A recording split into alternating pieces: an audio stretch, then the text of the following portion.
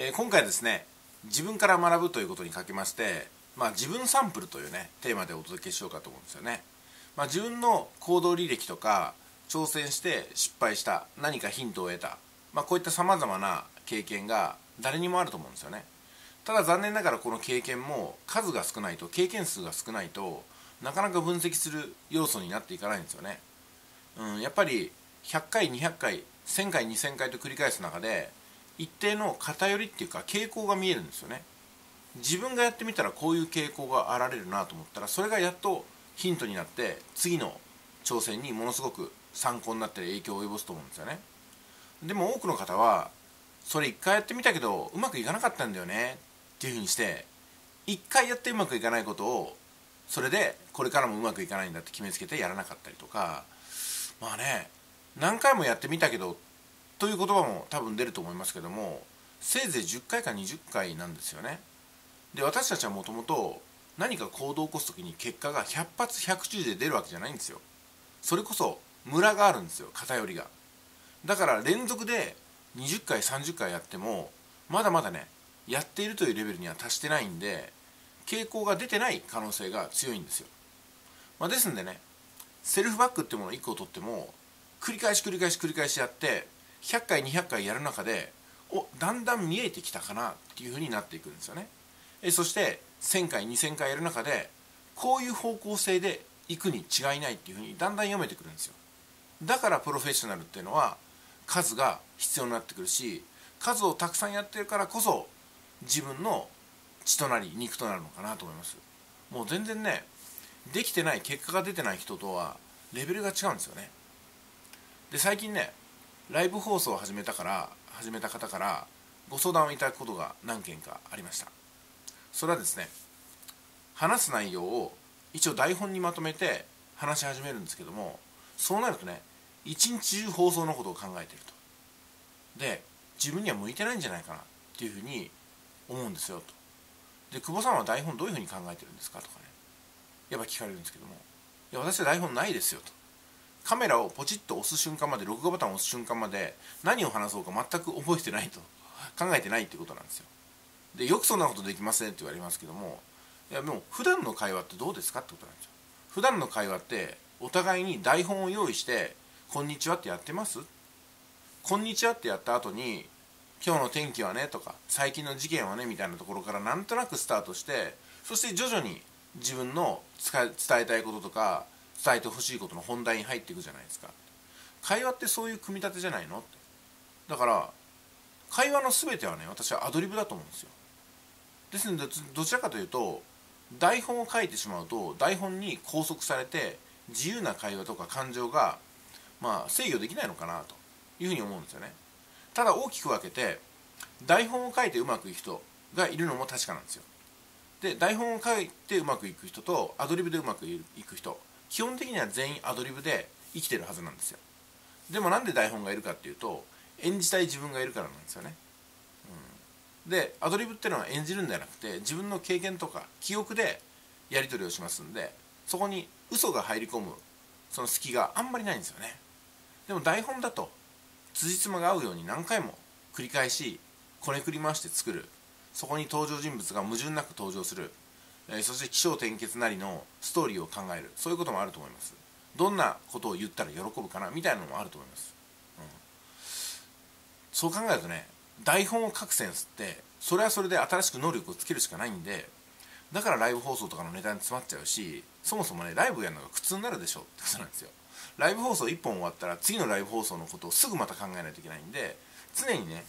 メモ帳に何かを書いてる状態になっちゃうとかね。でメモ帳を書いてることを読みながら覚えるからあのライブをするからたどたどしくなっちゃうでしょと。しかもコメントなんて入ろうもんなら自分の進めたい台本が中断されるからそこにもストレス感じるようになるでしょってことなんですよね。で何が言いたいかっていうと今までの人生でやったことしかできないんですよ。やっぱりね。でやったことがないことっていうのはこれからできるようになっていくんですよ。ここの差は大きいです。今まで人生でやったことがないからこれからもできないって考えるのか今までの人生でやったことがないからこれから徐々にできるようになるのかっていうふうに考えることどちらが挑戦の道を開いてくれるかなってことですよね。で自分のデータ分析をするときにまあ、人生が短ければねまだ10歳とか20歳だったら確かに経験が少ないんでアドリブが効かないところもあるかもしれないですね。引き出しがないと思いますから。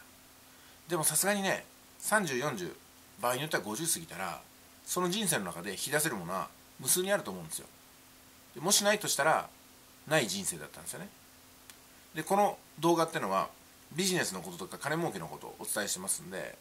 お金儲けがなかなかできないと。金稼ぎがなかなかできないっていうのはどういうことかって分析するとね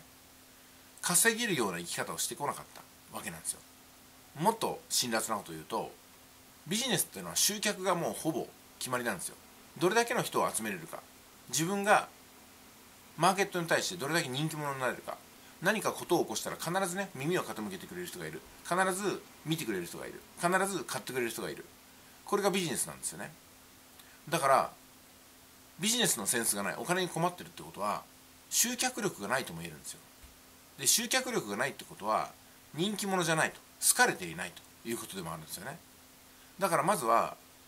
好かれる自分になるっていうかね。人気者ってのは何なのかなとか。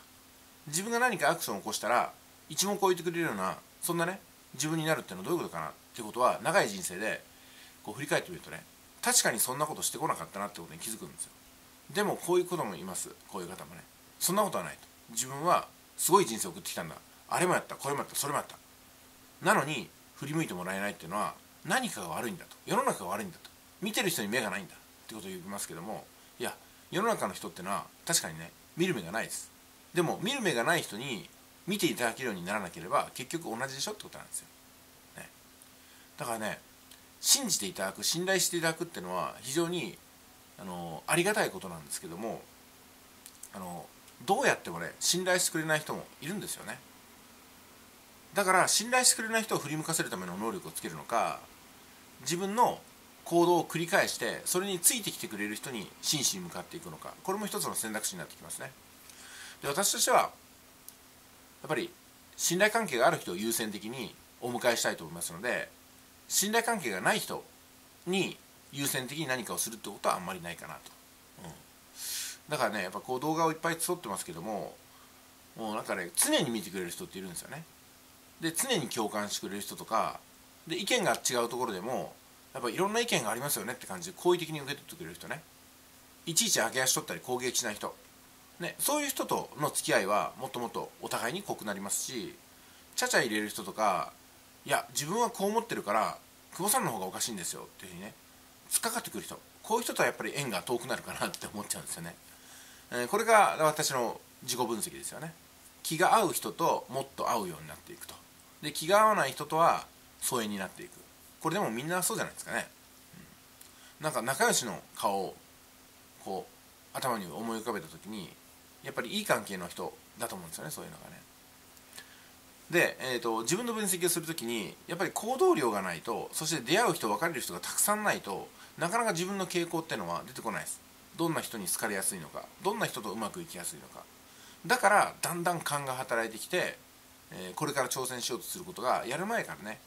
うまくいきそうかなとかうまくいきそうにないかな苦労しそうかなってことが見分けれるんでだんだん成功率が上がってくるんでしょうね。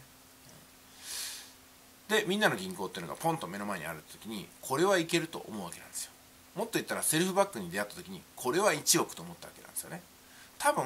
今までの人生自分の分析ができていると自分が取り組めば結果が出やすいものの傾向っていうのが触れるようになってくるんじゃないかなと思いますよね。私がセルフバックに対して感じた最初のインパクトっていうのはこれはいけると。自分の人生を買い取ってくれるそんなスキルになるはずだと思ったところが多かったですね。そして今8年前そう思った気持ちを振り返ってみると正解だったということが言えます、うん、自分の勘っていうのは、うん、各投野されてきたわけですね。40年かかりましたけど、うん、まあまあまあまあ拾うところが多い人生だったかなと思いますけども侮ることなくこれからもね学習勉強、うん、経験を積み重ねていきたいと思いますね。ありがたいことでございます。それではいってらっしゃい。